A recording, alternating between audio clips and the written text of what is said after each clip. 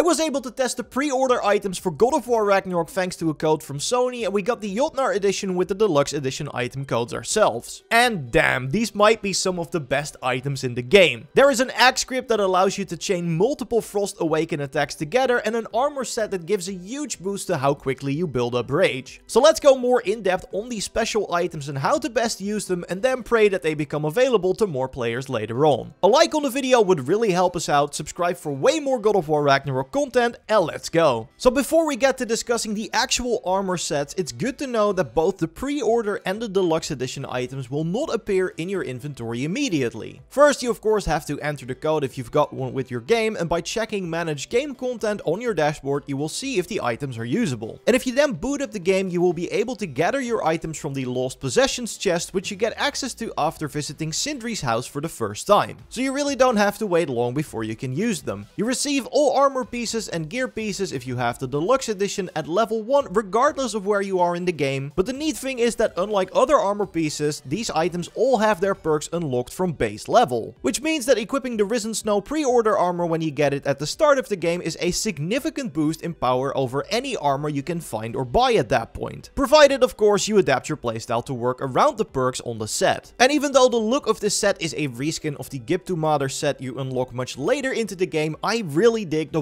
white and gold touches here. Although knowing Kratos, it's not gonna stay that shiny for long. And unlike most armors, the Risen Snow set will also not change its looks after upgrading it. Atreus also gets the Risen Snow tunic, which is just a reskin for his base attire with some more pale tints added to it as well, so it's not all that interesting. But luckily, the perks on Kratos' armor are, and you only find them on this armor set and they reward a very fun playstyle in my opinion. The wrist and waist pieces boost your stun damage to airborne targets by 20% for one piece and 40% if you equip both of them at the same time. And then it's just a matter of launching enemies airborne and following up with strikes to build up stun. There are many moves and techniques in the game that launch an enemy into the air and most of them also listed in their description. Like here you see it in the description of the Frozen Ascent skill for the Leviathan axe and the fully charged shield slam from the Stonewall shield also notes that it launches enemies. And once airborne, any incoming attack will have its stun buildup increased, even Atreus' arrows. So it's actually really smart to save your sonic arrows for when you knock an enemy airborne to then build up massive stun damage really quickly. I got some amazing results when I paired that tactic with the Onslaught shield, which we also mentioned in our video covering all shields in the game. Link to that one will be in the video description. But yeah, the charge on this shield launches enemies airborne, after which you can stun them with an unarmed combo and some sonic arrows, finish the enemy off with a stun finisher, and then immediately charge on towards the next one. So if you ever wanted to turn Kratos into an angry freight train, this is how you do it. And if you've been wearing the full armor set, you might notice that the Risen Might buff pops up from time to time when you launch an enemy. That is actually the perk on the chest piece, which as you probably already guessed by now, can trigger when you launch an enemy. It has a high chance to activate based on your luck and it increases your strength and stagger resistance for a short duration. So you can use some of the moves I mentioned before to make use of it, but by experimenting with different skills, you'll discover that some attacks that don't have launch in their skill description still trigger the buff. Like the Scorched Earth skill for the Blades of Chaos, for example.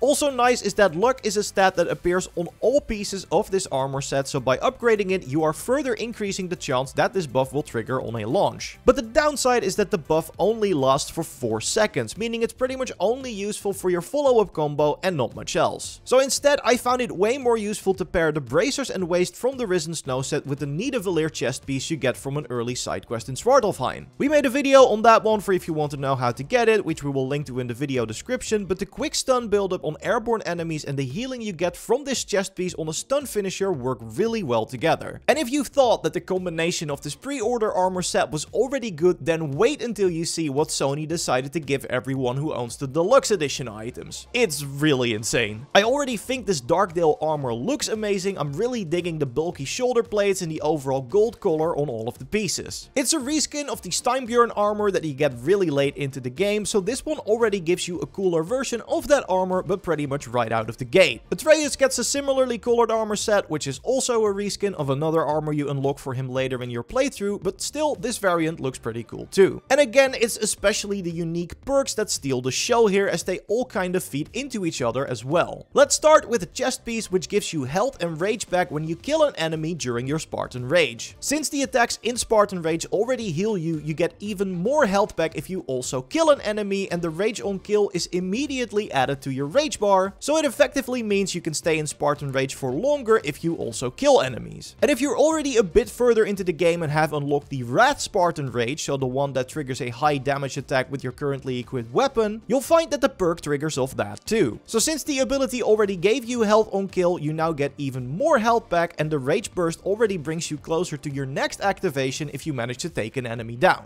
But it becomes even better if you add the buff from the wrist and waist pieces into the mix. With both pieces equipped, you increase the rate at which you gain rage when attacking status afflicted enemies and when using runic attacks by 40%, which is very noticeable. So you want to make sure that you build up a lot of status on an enemy quickly with a relic like the Hilt of Dainsleif for instance, or the Mists of Helheim runic attack that also quickly builds up frost and generates more rage thanks to the armor set as well. Jordan covered both of those in a recent video, so go check that one out if you haven't already. But there are of course also ways to build up elemental damage without having to wait for cooldowns like the whiplash attacks from the blades or the glacial rake skill for the axe that you can already get very early on. And especially that last one can build up a lot of frost as it can hit an enemy multiple times and if you complete its skill challenge you can further increase the elemental damage by selecting a skill mod. And then you open up on a target with this move, often freezing them instantly and then you can go ham and build up your rage really quickly. I got another trick you can use to build up even more rage but first let's cover the cherries on top which are the